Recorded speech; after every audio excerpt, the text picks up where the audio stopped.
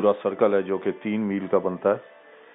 اس میں میں واک کرتا ہوں اور وہ تقریباً پینتالیس منٹ کے قریب میں وہ کور کر لیتا ہوں، جو کہ میرے خیال میں ٹھیک ہی سپیڈ ہے۔ تو یہ اب میں یہاں سے جو مین روڈ نکلتی ہے، جو ہمارا چھوٹا سا ٹاؤن ہے رین فرو اسکاٹ لینڈ کا گلاسگو سے سات میل دور، اس پہ میں واک کر رہا ہوں۔ اور واک کرتے کرتے میرے بڑے ذہن میں خیالات آتے ہیں۔ مثلا جب میں اس جگہ کا سکون دیکھتا ہوں اور حالات دیکھتا ہوں کہ کنوں کس طرح طریقے سے ان لوگوں نے اپنا ملک کو پرسکون اور اور اس میں کوئی کسی کو پریشانی نہیں، اس میں کوئی غریب نہیں ہے جو بے گھر ہو، کوئی بے روزگار نہیں، اگر ہیں تو ان کو گورنمنٹ پیسے دیتی ہے اتنے کہ وہ گزارا کر سکتے ہیں۔ تو ہمارے ملکوں میں یہ کیوں نہیں ہو سکتا؟ تو اس کی بہت سی ذہن میں آتی ہیں وجوہات کہ جب میں اپنے ملک میں جاتا ہوں، اب میں آپ کو پچھلے ٹور پہ بتاؤں، جب میں گیا ہوں پاکستان، میں اکثر دیکھتا رہتا ہوں جب آپ اسلام آباد سے لاہور انٹر ہوں یا لاہور سے ملتان کی طرف جائیں، تو جیسے ہی آپ باہر نکلتے ہیں یا آپ موٹر وے پہ آ رہے ہیں اور جیسے ہی آپ راوی کا ٹول پلازا کراس کرتے ہیں، تو اس کے بعد آپ لیفٹ سائڈ پہ دیکھنا شروع کریں۔ وہاں پہ ایک آپ کو جگہ نظر آئے گی جہاں پہ لاہور کا تمام کوڑا کرکٹ ڈمپ کیا جاتا ہے اور وہاں بہت سی جھونپڑیاں نظر آئیں گی۔ ان لوگوں نے وہ اپنے کاروبار کا ذریعہ وہ گند کوڑا بنا رکھا ہے۔ ان کے بچے بھی وہیں پیدا ہوتے ہیں، وہ پروان بھی وہیں چڑھتے ہیں۔ اور اسی گندگی میں سے وہ کچھ چیزیں اپنے کام کی، کوئی پلاسٹک کی بوتلیں، کوئی کوئی شاپنگ بیگ اور اس طرح جو بھی ان کو مل جائے کام کی چیزیں بھی اکٹھی کر کے بیچ کے اپنا گزارا کرتے ہیں۔ اب آپ سوچیں کہ ایک طرف تو ہم روزے رکھ رہے ہیں جی ہم بڑا اسلام کے اس پر عمل کر رہے ہیں اور دوسری طرف ہم حج اور عمرے بھی کرتے ہیں۔ اس پہ بھی پانچ پانچ لاکھ کے اور دو دو لاکھ کے اور یہاں پہ برطانیہ میں تو کافی مہنگے پیکیجز ہیں۔ دو تین ہزار پاؤنڈ سے شروع ہو کے اور میرے خیال اوپر تک جاتے ہیں۔ حج کے۔ مگر ان ان ان کے بارے میں ہم بالکل نہیں سوچتے۔ اچھا پھر اس کی اس کی وجہ پھر ایک اور ذہن میں میرے آتی ہے۔ اب دیکھیں یہاں پہ میں، آپ دیکھیں، آپ کو کوئی یہاں پہ انسان نظر نہیں آئے گا۔ ابھی تک میں نے کوئی نہیں دیکھا، کوئی کا دکا کوئی میری طریقے سے واک کرتا ہوا یا کوئی اپنے کسی کام سے جاتا ہوا نظر آ جاتا ہے۔ تو انہوں نے اپنی آبادی کو بھی کنٹرول کیا ہوا ہے۔ ہم ہم دیکھیں نا، جس جن جن زمانے میں، جس زمانے میں میں نے ہوش سنبھالا یعنی ففٹیز کا دور جو تھا، جو جب پاکستان بنا نائنٹین فورٹی سیون میں، تو ہمارے مغربی پاکستان کی جو اس وقت پاکستان ہے اب، اس کی آبادی تقریباً کوئی میرے خیال پونے تین کروڑ کے، یا تین کروڑ کے لگ بھگ تھی۔ جو اب لیٹسٹ جو اعداد و شماری کے مطابق وہ بائیس کروڑ ہو چکی ہے، شاید اس سے بھی زیادہ ہو گئی ہو۔ تو اتنی اتنی گروتھ دنیا میں کسی کسی بھی ملک کی اتنی زیادہ فاسٹسٹ گروتھ نہیں ہوئی آبادی کی۔ اگر یہاں پہ یہ حال ہوتا برطانیہ میں تو ان کا بھی وہی حال ہوتا جو ہمارے ملکوں کا۔ اور پھر اکثریت ان میں جو ہے وہ ان پڑھ آپ کے ستر پرسنٹ تو جو ہیں وہ ان پڑھ ہیں۔ اکثریت آپ کے بچوں کی اسکول میں نہیں جاتی۔ اور پھر لوگ بچے اس لیے بھی زیادہ پیدا کرتے ہیں جی کہ ہمارے ہیلپنگ ہینڈ ہوں گے وہ۔ بڑے ہو کے کسی کو ورکشاپ میں ڈال دیا، کسی کو کسی گھر میں نوکر رکھوا دیا، کسی کو مدرسے میں ڈال دیا، اور وہ ان کے انکم کا ذریعہ بن جاتے ہیں۔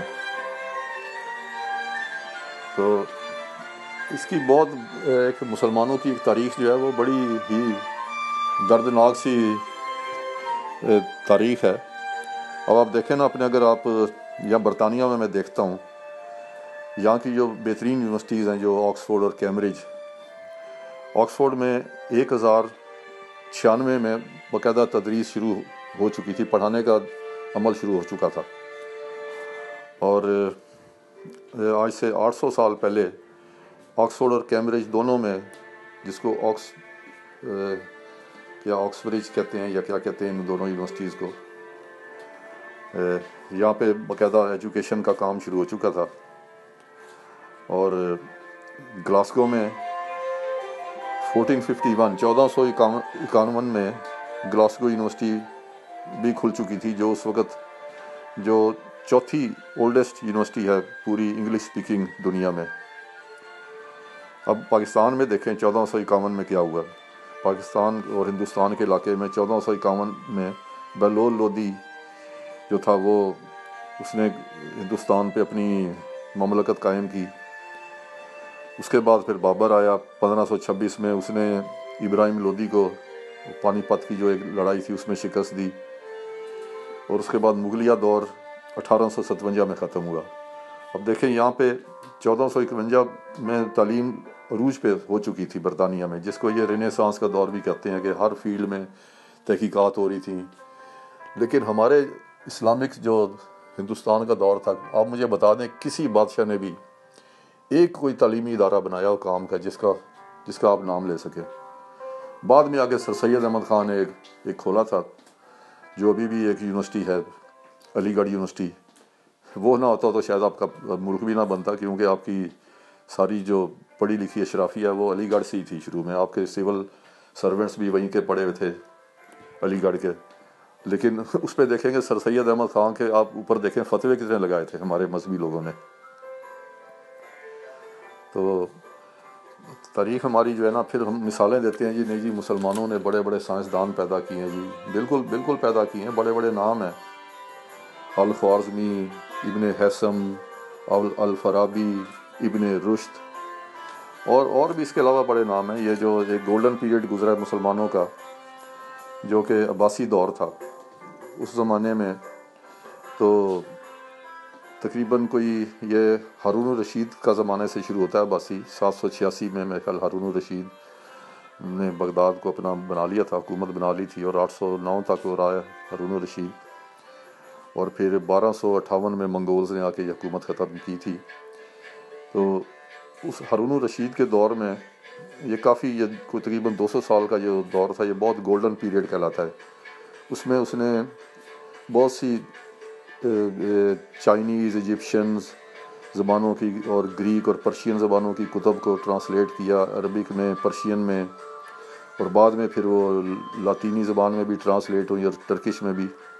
تو اس کی وجہ سے بھی کافی ایک پیریڈ مسلمانوں کا آیا۔ اور اس میں بڑے بڑے پھر بعد میں یہ جو اسپین میں مسلمانوں کا جو دور تھا، وہ بھی بڑا ایک عروج کا دور تھا۔ اس میں بڑے بڑے سائنسدان پیدا ہوئے، جس میں یہی آپ کو میں نے نام کچھ بتائے ہیں پہلے۔ اور انہوں نے بڑی بڑی حیرت انگیز کتب لکھی۔ یورپ سے لوگ جاتے تھے، اپنے بچوں کو بھیجتے تھے وہاں پڑھنے کے لیے کرتبہ وغیرہ جو یونیورسٹیز تھیں ان کی۔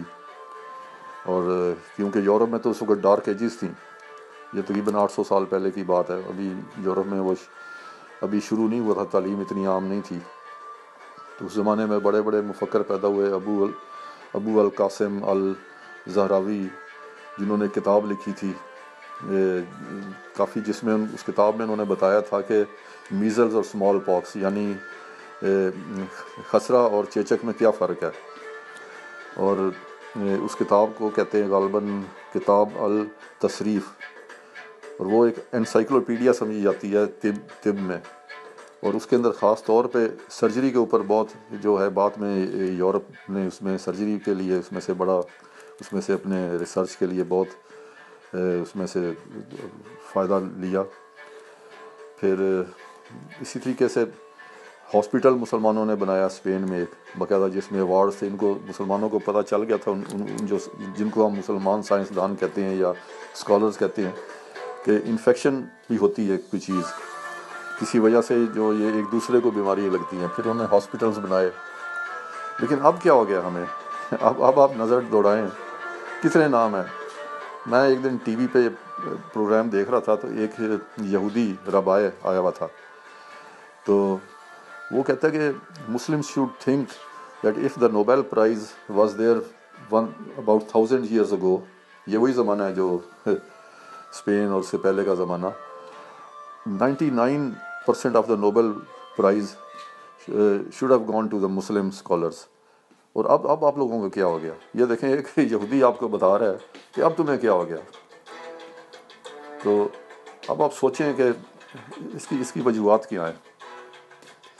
ہمیں جو تعلیم دینی چاہیے اسکولز میں، وہ دی نہیں جاتی بچوں کو ہم بچوں کا ذہن تو ہم پیدا ہوتے ہی بند کرنا شروع کر دیتے ہیں۔ وہ بچوں، یوں نہ کرو، جن آ جائے گا، یوں نہ کرو، یہ ہو جائے گا، وہ تمہارے پہ جادو جادو دیکھیں، جادو ٹونا۔ توہمات، پڑھے پڑھے لکھے لوگ کہتے ہیں، نہیں جی جن جن کو تو یہ قرآن میں تصور ہے، آپ کیسے کہتے ہیں جن، جنات نہیں ہیں؟ وہ ان سے پوچھے یار کبھی تم نے کوئی تم نے ایکسپیرینس کیا جن؟ وہ جو قرآن میں جن کا تصور ہے، اس کے تو اس پہ کئی اسکالرس نے اس پہ بڑی انٹرپریٹیشنس کی ہیں کہ یہ انسانوں کو ہی جن کا گیا۔ بہرحال وہ آپ کے لیے ایک ریسرچ کا میں یہ آپ کو بات